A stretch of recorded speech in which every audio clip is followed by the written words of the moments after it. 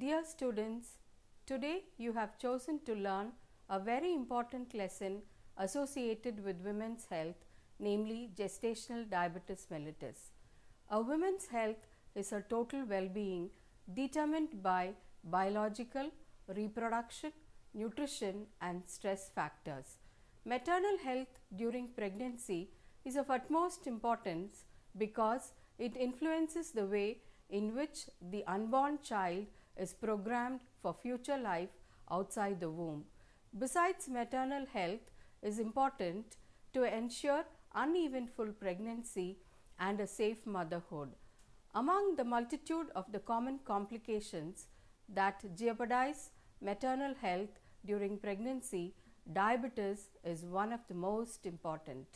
The steep rise of diabetes today affects women, especially young women in their reproductive age and increases the risk of pregnancy. When you complete this lesson, you should be able to understand what is gestational diabetes mellitus, what are the risk factors and the complications involved, know the diagnostic criteria for gestational diabetes mellitus, and understand the importance of diet and exercise in the management of gestational diabetes mellitus. So, to understand this better, let us start our lesson by knowing what is gestational diabetes mellitus or GDM as it is commonly known. Gestational diabetes mellitus is a temporary form of diabetes occurring during pregnancy and is defined as carbohydrate intolerance with first time recognition or onset during pregnancy and normal blood glucose control is usually recovered after delivery. You should not get confused with those who are already diabetic. These women who have diabetes before conception, either type 1 or type 2, are considered to have pre-gestational diabetes or called as PGDM and do not fall into the category during pregnancy. Let us know the past history about GDM. In earlier days, before the discovery of insulin, diabetes during pregnancy was considered as a complication and incompatible with life and hence pregnancy was not allowed in diabetes. The first reference to diabetes in pregnancy is available since 1823 and at time it was considered as a symptom of pregnancy and not as a serious disease entity. In 1882, Matthews Duncan, an obstetrician from London, observed a few salient features of diabetes and focused this to the world. Priscilla White, a pregnancy pioneer worker in the field of pregnancy diabetes and famous for her classification of GDM, became the beacon of hope to many diabetic women. She gave a hopeful statement that diabetes is no longer a contradiction to pregnancy. She pointed out that the degree of hyperglycemia seemed to be related to pregnancy outcome and diabetes control is important for fetal welfare. The first Center for Pregnancy Diabetes, the Copenhagen Center for Pregnant Diabetics, was established by Jorgen Pedersen in 1945.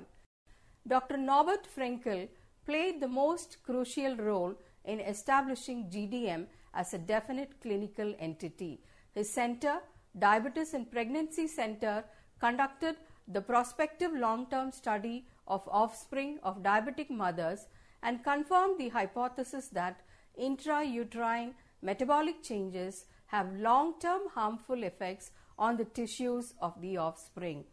With that, a brief history of diabetes in the past, let us look into what is the reason for diabetes during pregnancy. Pregnancy itself is a metabolic stress test. During the first half of pregnancy, transfer of maternal glucose to the fetus occurs. During the second half of pregnancy, placental hormones outweigh glucose transfer and insulin requirements typically double. The placenta functions as a nutrient sensor, altering placental transport according to the maternal supply of nutrients. Placental transporters are regulated by hormones such as insulin. Gestational hormones such as human placental lactogen known as HPL interfere with insulin action and result in insulin resistance thus making it difficult to stabilize the blood sugar during pregnancy due to altered carbohydrate metabolism and an impaired insulin action. The insulin antagonism is probably due to the combined effect of human placental lactogen, estrogen, progesterone, free cortisol and degradation of the insulin by the placenta. So, when should a pregnant woman take assessment for GDM risk and how is the diagnosis made? Every pregnant woman does not develop diabetes during her pregnancy, but practically all the pregnant women should undergo screening for glucose intolerance. The usual screening recommendation is between 24 and 28 weeks of gestation, but the recent concept is to screen for glucose intolerance in the first trimester itself or at the first prenatal visit. If found negative, the screening test is to be performed around 24 to 28 weeks and finally around 32 34 weeks. All pregnant women should be assessed for risk of GDM at the first prenatal visit. Most of the women are screened between 24 to 28 weeks of gestational. Gestational diabetes mellitus often presents with hyperglycemia and glycosuria. Selective screening at 24 to 28 weeks of pregnancy is generally recommended with a glucose tolerance test and 1 hour assessment using either a 100 gram or 75 gram of oral glucose load. Two or more of the venous plasma glucose concentrations must be met or exceeded for a positive diagnosis.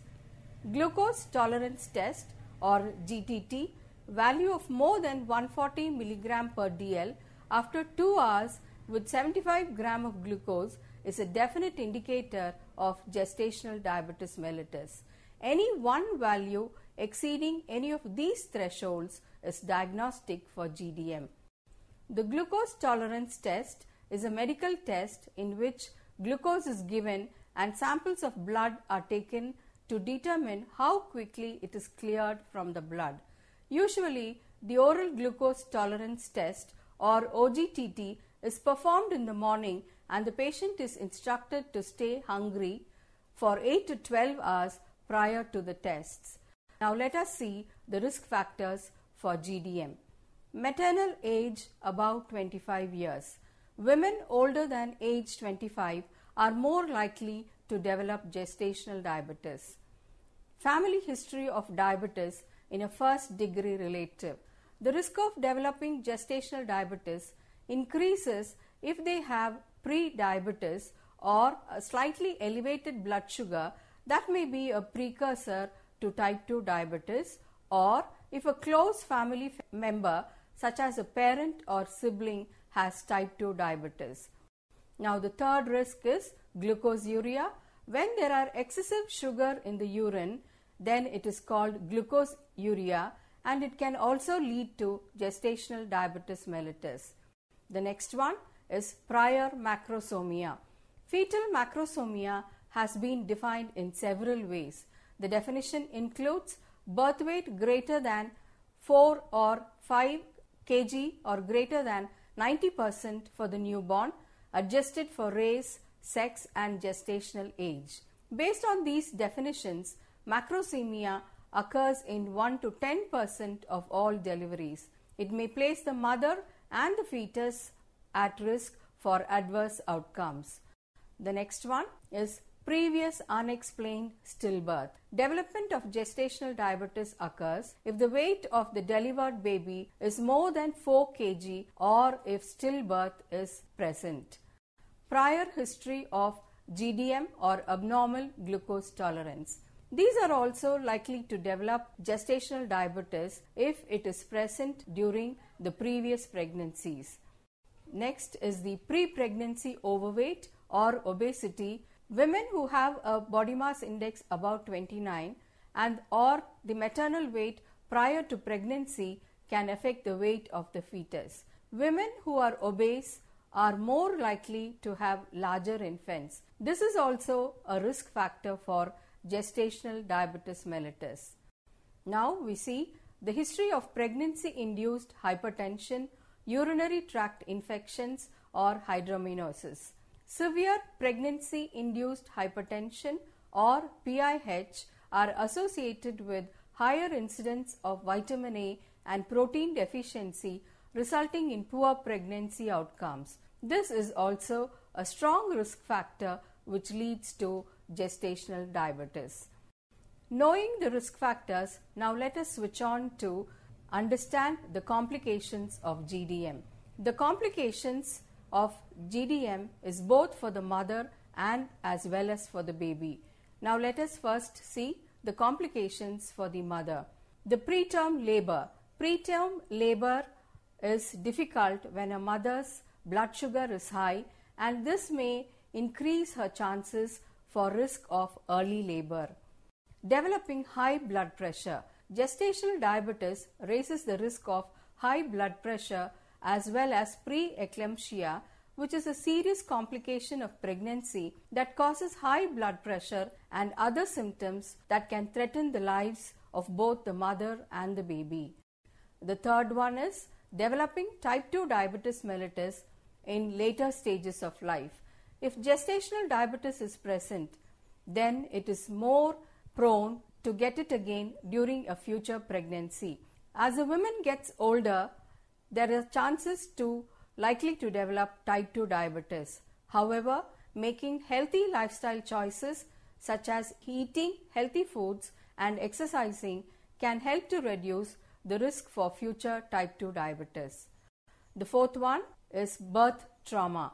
If early diagnosis and treatment of gestational diabetes is not done, it can lead to a very large or macrosomic baby which can increase the risk of having a birth related injury such as hypoxia, brain ischemia, brachial plexus injury, Erb's palsy or shoulder dystocia and cerebral palsy. The fifth one is the pregnancy induced hypertension. This condition is also called toxemia of pregnancy or pregnancy induced hypertension. This occurs in about 10 to 30 percent of women with gestational diabetes. Preeclampsia is defined as the presence of protein in the urine and high blood pressure occurring after the 20th week of pregnancy. Apart from these complications, there are other conditions which are associated with GDM. Let's see all those. The first one is macrosomia. Macrosomia literally means big body. In this condition, the baby is larger than the normal. Large bodied babies may be injured during natural delivery, so the baby has to be delivered through cesarean process. Next is hypoglycemia. Hypoglycemia is when the level of sugar or glucose in the blood is too low. Glucose is the main source of fuel for the brain and the body. In a newborn baby, low blood sugar can happen for many reasons. It can cause problems such as shakiness, blue tint to the skin, breathing and feeding problems. In this condition, the baby's blood glucose is too low. Breastfeeding may need to be started right away to get more glucose into the baby's system. The third one is jaundice. Infant jaundice is a yellow discoloration in a newborn baby's skin and eyes. Infant jaundice occurs because the baby's blood contains an excess of bilirubin, which is a yellow colored pigment in the red blood cells. Knowing the risk factors and the complications, now let us proceed to the most important part of the lesson the management of gestational diabetes mellitus. The management of GDM involves regular blood glucose testing, medication or insulin or hypoglycemic drugs, medical nutrition therapy or diet therapy, exercise, and antepartum testing. The main goal of treatment is to reduce the risk of GDM for the mother and child. Good blood glucose control can prevent fetal complications such as macrosomia and increase maternal quality of life. Management of GDM should be continuous and the healthcare team should have an obstetrician, diabetologist, a diabetes educator, a dietitian, nurse and a pediatrician. Clinical management can be done in three stages namely before delivery, during delivery and immediate postpartum and after delivery. The efficacy of clinical management is dependent on the food habits, a stress free environment, and other supportive care at home for the mother. Let us now know about diet management in detail. Diet therapy should be sufficient enough as a single method to control GDM, and proper adoption of nutrition plans could either prevent or delay the use of insulin or lower its requirement. An adequate diet which provides all macro and micronutrients and one which encourages an appropriate weight gain is essential.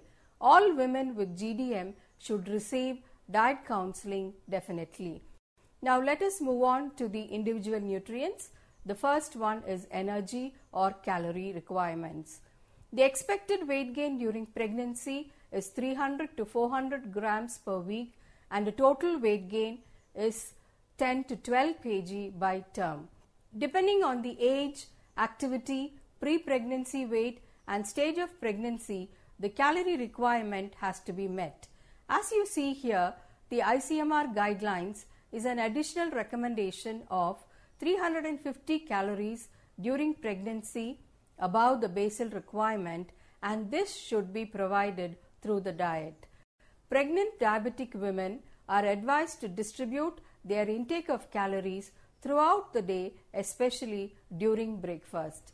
This advice has scientific basis because the peaking of plasma glucose is high with breakfast than with lunch and dinner. GDM women have deficiency in first phase insulin secretion and to match this insulin deficiency, the quantity of food at one time should be less and hence breakfast can be split into two equal halves and the portions can be consumed with a 2 hour gap in between. Next is carbohydrate. Carbohydrates are often the center of a healthy diet for a woman with gestational diabetes. About 55% of the total calories can be from carbs. A minimum of 175 gram with 20 to 35 gram of dietary fiber per day is advised. Consistent amount of carbohydrate should be taken in each meal and snack and inclusion of complex carbohydrates like whole grains, unrefined foods and fiber rich foods should be given. Carbohydrate controlled guidelines are important and it can be done in a way to distribute the total calories into 9 portions which is divided among 3 small meals to moderate meal and also 3 small to moderate snacks. Every time during the meal, the carbohydrate content should be lessened. The type of carbohydrate also is important and complex carbs are recommended. Cereals like unpolished rice, wheat and millets like ragi, jowar etc. are advised as they are rich sources of fiber. Fiber rich foods are slowly digested which in turn causes the slow release of glucose and helps in better glycemic control. Simple carbs like sweets, fruit juices, and refined products are best avoided. Snacking is common during pregnancy, and the mother can be advised to take fresh vegetables and salads. Our next nutrient is protein. As you all know, protein is very important in a day's diet, and high biological value protein with low fat content should be emphasized. A 20 to 25 percent of total calories with an extra allowance of 10 gram per day of protein is recommended. As per ICMR guidelines, the protein intake is advised and good quality protein rich foods like egg, meat and fish should be consumed. Both the quality and quantity is important and fatty meat like organ meats can be avoided. During every meal time, a combination of a cereal and protein is recommended. Our next nutrient is fat. The intake of calories from fat is recommended to be 20%. Saturated fats like butter, ghee are to be taken in small amounts. Omega 3 fatty acids from fish is advocated because these are essential fatty acids and numerous studies have recommended fatty fish as they help in good brain performance and improve cognitive abilities in the children. Next is fiber. Fiber delays gastric emptying and glucose absorption, thus lowering plasma glucose concentration. Foods rich in fiber help to maintain good glycemic control and hence whole grain cereals like whole wheat, brown rice, barley, oatmeal and legumes like germinated pulses, green leafy vegetables like spinach, lettuce, etc., salad and boiled vegetables as you see here are advised. Next is essential micronutrients. Essential micronutrients like folic acid, calcium and iron are needed for optimum maternal health and fetal care and therefore have to be given in the recommended amounts. Lack of folic acid increases the risk of neural tube and other birth defects and as you see in this chart folic acid rich foods can be given. About 35 milligram of iron per day in the form of enriched grain products, egg, green leafy vegetables, lean meat, poultry and fish is good. Vitamin B12 is important for nerve and red blood cell development and these foods are advised.